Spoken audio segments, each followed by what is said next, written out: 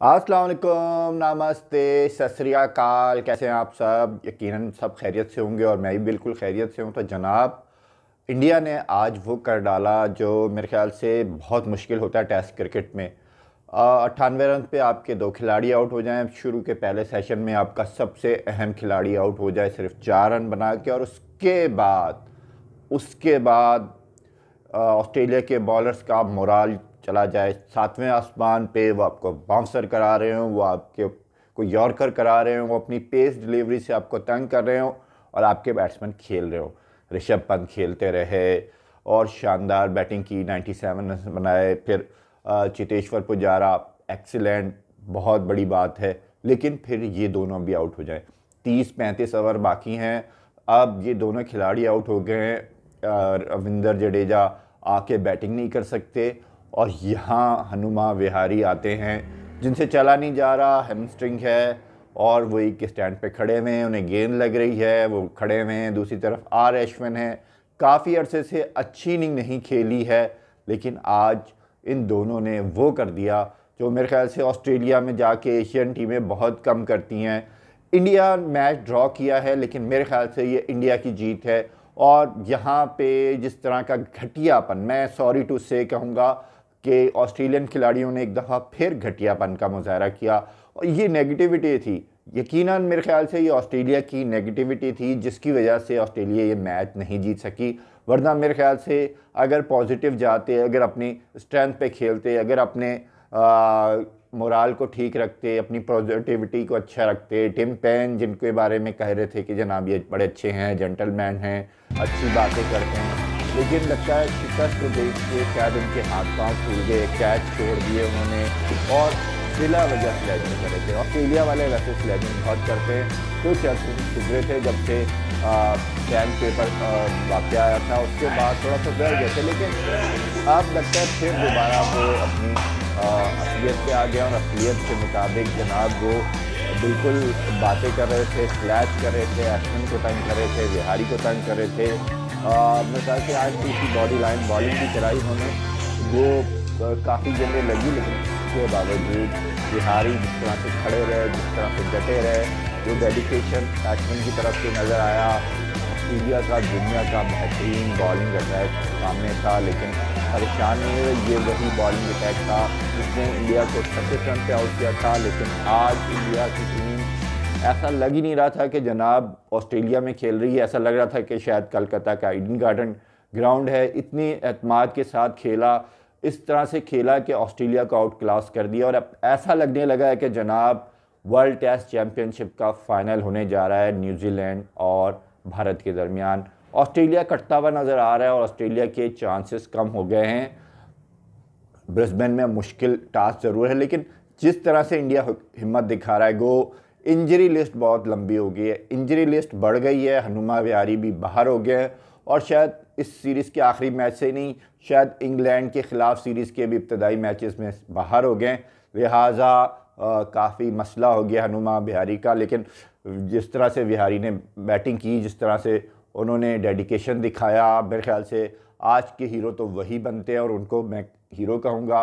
ऋषभ पंत ने बेहतरीन इनिंग खेली, चेतेश्वर पुजारा की इनिंग की कोई जनाब दो राय नहीं कि बहुत अच्छी इनिंग थी, लेकिन जो विहारी ने किया है एक्सीलेंट सल्यूट मारता हूँ मैं उनको और सल्यूट करने के दिल भी चाहता है उनका कि जनाब उन्होंने बहुत अच्छी बैटिंग की। इसी तरह हम बात कर लें अश्विन की। अश्विन ने ज़रूरत के मुताबिक काफ़ी अच्छे बाद खेले। अब देखें, एक सौ इकसठ गेंदों पे तेईस रन बनाए हनुमा विहारी ने और जनाब एक सौ अट्ठाईस गेंदों पे उनतालीस रन बनाए और तंग कर दिया। इतना तंग कर दिया, इतना तंग कर दिया, इतना थका दिया। टिम पेन को, स्मिथ को और उनके बॉलर्स को कि जनाब वो कहते कि भाई, जीतो या हारो, हमारी जान छोड़ दो, हमारी जान छोड़ दो और मैच ड्रा हो गया। मेरे ख्याल से टिम पेन की कैप्टनसी पे भी काफ़ी सवाल हो गया और ये सवाल मैं नहीं उठा रहा, कोई इंडियन नहीं उठा रहा। इंग्लैंड के क्रिकेटर्स उठा रहे हैं, इंग्लैंड के एक्स क्रिकेटर उठा रहे हैं, माइकल वॉन कह रहे हैं कि टिम पेन ने नेगेटिविटी दिखाई है और इनकी नेगेटिविटी मेरे ख्याल से काफ़ी अरसे तक याद रखी जाएगी और अच्छी छाप लगी हुई थी उन पर लेकिन आज वो थोड़ा से एक्सपोज हो गए और नज़र आया कि जनाब वो स्लैच कर रहे थे। मेरे ख्याल से अगर वो पॉजिटिविटी दिखाते, अगर वो बॉलिंग चेंज अच्छी तरीके से करते, अगर वो फील्डिंग अच्छी करते, अगर वो अपने फील्डर्स को सही इस्तेमाल करते तो शायद ऑस्ट्रेलिया जीत जाता, लेकिन क्या कहें जनाब कि वही मनफी सोच, वही नेगेटिविटी जिसकी वजह से ऑस्ट्रेलिया अक्सर ख़बरों की जीनत बनते रहते या ऑस्ट्रेलिया के खिलाड़ी और ऑस्ट्रेलिया वाले। मेरे ख्याल से जीत इतनी इंपॉर्टेंट नहीं होती। स्पोर्ट्समैनशिप दिखाना ज़्यादा इंपॉर्टेंट होता है और ये बात शायद ऑस्ट्रेलियंस को और ऑस्ट्रेलिया के क्रिकेटर्स को समझ नहीं आती। अब ग्राउंड के बाहर उनके तमाशाई रेसल अब्यूज़ करते हैं ग्राउंड के अंदर उनके खिलाड़ी स्लैजिंग करते हैं। तो अजीब लग रहा है। मेरे ख्याल से आप पुरानी क्रिकेट रिवाइव करें। एग्रेसिव का मतलब ये नहीं आप स्लैच करें, आप किसी टीम को। और मेरे ख्याल से स्लैच का कोई फ़ायदा भी नहीं होता क्योंकि दो ऐसे खिलाड़ी थे एशविन कूल माइंडेड हैं, बेहतरीन खिलाड़ी हैं कंपोज हैं और उनको स्लेजिंग से कोई ख़ास फ़र्क नहीं पड़ने वाला। और विहारी तो जनाब जिस तरह से वो खेले, मुझे लग रहा है कि स्लेजिंग का उनको फ़ायदा हुआ, वो ज़्यादा डेडिकेशन के साथ खेले, वो उन्होंने ज़्यादा डिटर्मिनेशन का मुजाहरा किया और इसके नतीजे में शायद ऑस्ट्रेलिया या मैच हार गया। अगर इतनी स्लेजिंग नहीं होती और वही दोस्ती यारी का माहौल होता, जो मेरे ख्याल से कुछ अरसे से ऑस्ट्रेलिया और हमने भारत के दरमियान देखा है। आईपीएल के पे इल्ज़ाम लगा। कुछ सबका क्रिकेटर्स ने भी कहा, जिसमें एलन बॉर्डर भी शामिल थे कि जनाब आईपीएल खेलने की वजह से ऑस्ट्रेलिया की क्रिकेट की चमक ख़त्म हो गई है और अब चमक आई तो मेरे ख्याल से सारी रौनक भी उड़ गई है। और ये चमक नहीं थी। चमक थी वो दोस्ती, वो मोहब्बत वो रिस्पेक्ट वो जेंटलमैन एटीट्यूड जो ऑस्ट्रेलिया का अच्छा लगने लगा था खिलाड़ियों को, का एटीट्यूड और पूरी दुनिया में ऑस्ट्रेलियन क्रिकेटर्स अच्छे समझे जाने लगे थे, वरना आम तौर पे जिस तरह से वो बातें करते हैं, जिस तरह से स्लेजिंग करते हैं और मेरे ख्याल से जिस तरह की उनकी शहरत है पसंद तो नहीं की जाती थी, लेकिन ऑस्ट्रेलियंस को पसंद है तो जनाब हम क्या कर सकते हैं? अब बात कर लेते हैं जनाब कुछ पाकिस्तान क्रिकेट की भी। पाकिस्तान क्रिकेट में एक बड़ा फ़ैसला होने जा रहा है। वक्कार मिसबाउल हक कल पेश होंगे क्रिकेट कमेटी के सामने और इतलात तो यही हैं कि फ़ैसला हो चुका है और साउथ अफ्रीका के ख़िलाफ़ सीरीज़ वक्कार और मिसबा की आखिरी सीरीज़ होगी। आज मिसबा ने कहा कि जनाब कोविड की वजह से हम परेशान थे, इंजरीज़ हो गई, बहुत से उन्होंने जवाब दिए, लेकिन उनका कहना है कि जनाब टीम में तब्दीलियाँ आप चाहें तो आप कर सकते हैं, निकाल सकते हैं सबको। लेकिन मसला यहाँ हल नहीं होगा। मसला होगा कि कंटिन्यूटी रखें, खिलाड़ियों को अतमाद दें, खिलाड़ियों के साथ अच्छा सलूक करें। लेकिन सलूक तो उन्होंने आमिर के साथ भी अच्छा नहीं किया। वो कह रहे हैं कि आमिर की कारकर्दगी की बुनियाद पर उन्हें सेलेक्ट नहीं किया था और आमिर की कारकर्दगी वाकई अच्छी नहीं थी। लेकिन ये बात एक सीनियर खिलाड़ी को बैठ के समझाई जा सकती थी। ये बात नहीं समझाएगी, ये गलती हुई है। हम ये नहीं कह रहे कि आमिर को टीम में होना चाहिए था। यकीनन आमिर की टीम में जगह नहीं बनती। हाँ वो पैंतीस खिलाड़ियों में नहीं थे। ये उन्होंने इशू क्रिएट किया है कि वो पैंतीस खिलाड़ियों में नहीं है।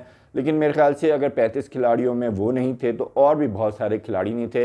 हसन अली ने जिस तरह से डोमेस्टिक क्रिकेट में अपनी एबिलिटी को साबित किया, अपनी फ़िटनेस को साबित किया, और अब मेरे ख्याल से वो टीम के मेन क्रिकेटर बनने जा रहे हैं और दोबारा से पाकिस्तानी टीम में शामिल होने जा रहे हैं। इसके साथ साथ आई, पी एस एल में भी जनाब उनको काफ़ी अच्छी रेटिंग मिली और काफ़ी अच्छे लेवल पे उनको शामिल किया गया इस्लामाबाद यूनाइटेड की तरफ़ से। तो मेरे ख्याल से कारकर्दगी किसी भी खिलाड़ी के लिए, चाहे वो आमिर हो, चाहे वो शर्जील खान हो, चाहे वो आज़म खान हो, या कोई भी हो एक्स वाई जेड आप कारकर्दगी दिखाते हैं, मुस्तकिल कारकर्दगी दिखाते हैं तो टीम में आपको आने से कोई नहीं रोक सकता। आप मेहनत करें, कारकर्दगी दिखाएँ और अपनी परफॉर्मेंस से टीम में वापस आएँ। बाकी बातें करते रहते हैं, ख़बरें बन जाती हैं मेन स्टोरी बन जाती है हेडलाइन बन जाती है, लेकिन आपकी बात नहीं बनती। मेरे ख्याल से आमिर को ये समझना चाहिए। मुझे इजाज़त दीजिए। अस्सलाम वालेकुम नमस्ते, सत